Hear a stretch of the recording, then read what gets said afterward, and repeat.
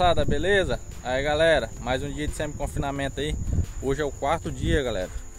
Ontem eu vim aqui, trouxe a ração Vou deixar um pedaço do vídeo aí. É, Eu boto na ração ali dentro ali.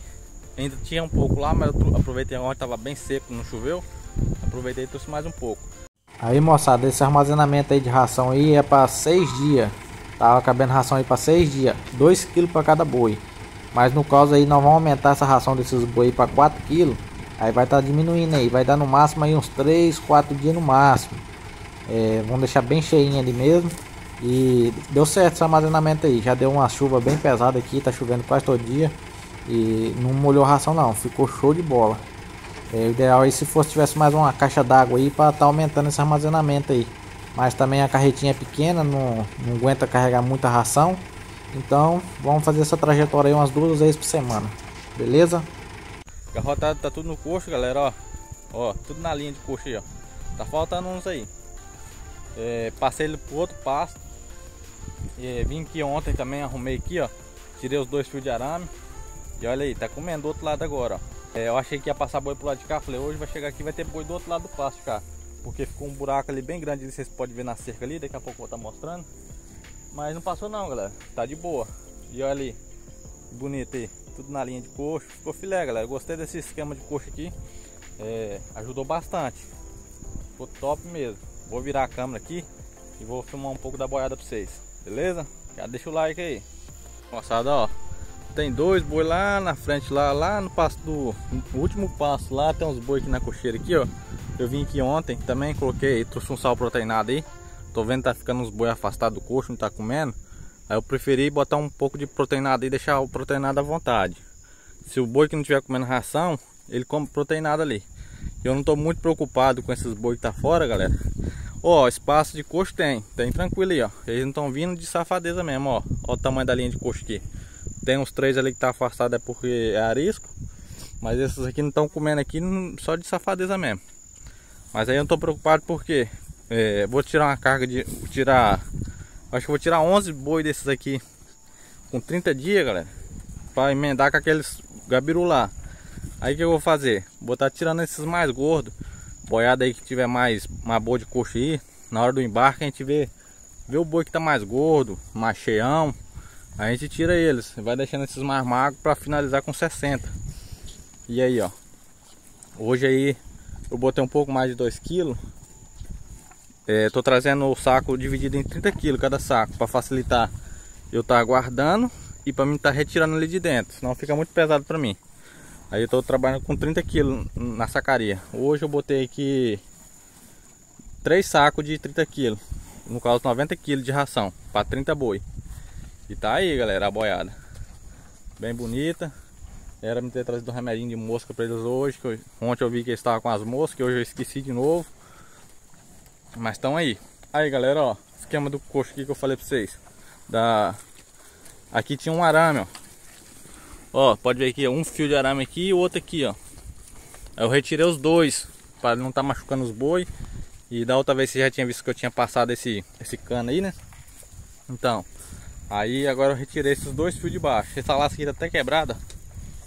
Mas eu achei que os boi ia ficar passando. E deixei o fio de baixo também, ó fio de baixo continua. Ele não está apertando os boi. Ficou um espaço suficiente aí para estar enfiando o pescoço aí comendo. E ficou bacana. Aquele pedacinho ali eu tenho que vir fechar, passar dois fios de arame ali, deixar só a linha de coxa aberta mesmo. E eu gostei do, do resultado aí. É, ficou muito bom esse esquema desse coxa aí. Economizei bastante mesmo. 30 boi aí, com a linha de coxa aí de 22 metros borrachão, como vocês viram aí, é, é simples de estar tá fazendo esse, esse tipo de coxo. Finalizando aqui esses boi aqui, galera, ó. Eu venho aqui, pego o trator, puxo para frente aí, ó. Posso de deixar esse esses toquinhos aí, ó. Posso, posso deixar ele no jeito que tá aí, ó. Se algum dia eu querer tratar do boi de novo, o que que eu vou fazer? É só trazer o borrachão, galera. Venho com o borrachão enrolado no trator, jogo ali e puxo ele. E a mesma coisa eu vou fazer, vou Terminei tratando dessa boiada, vou pegar, vou arrancar o borrachão. É, vou ficar com 22 metros de coxo parado aqui, sem estar tá tratando de boi, não, não, vale a pena né galera. Então eu vou retirar, vou levar lá para outra chácara lá e vamos fazer desse mesmo esquema aí também no chão e vamos tratar da bezerrada. Aqui tem 22 metros, lá tem mais 9 metros de borrachão lá ainda. Vai dar uns 30 e poucos metros. Então vai dar para tratar da bezerrada tudinho na época da seca. Com esse mesmo coxo aí, sem, sem gastar mais nada. E é bem simples a forma de fazer. Então ajuda bastante. Quem tem, tem vontade de comprar. É, tem gente que pergunta é, onde acha. E, galera, eu, tive perguntando para o cara que eu comprei esse borrachão aqui. Ele falou para mim que ele achou na Casa da Borracha. Procura aí na, na, na, cidade de vocês aí, a Casa da Borracha, que eles vão informar. Isso é um material usado, é de correia transportadora de mineração, já é usada.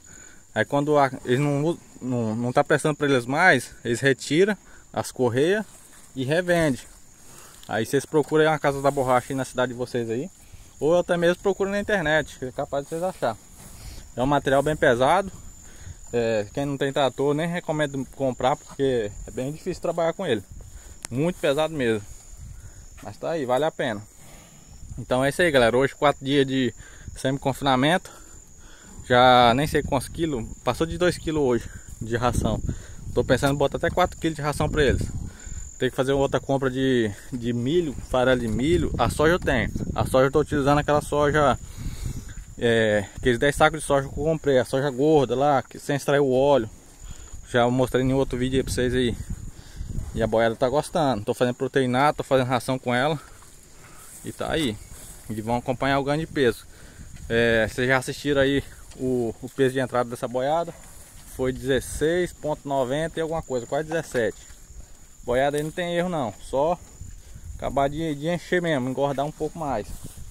Mas se eu querer mandar do jeito que ela tá aí, ela já pode ir embora. Beleza?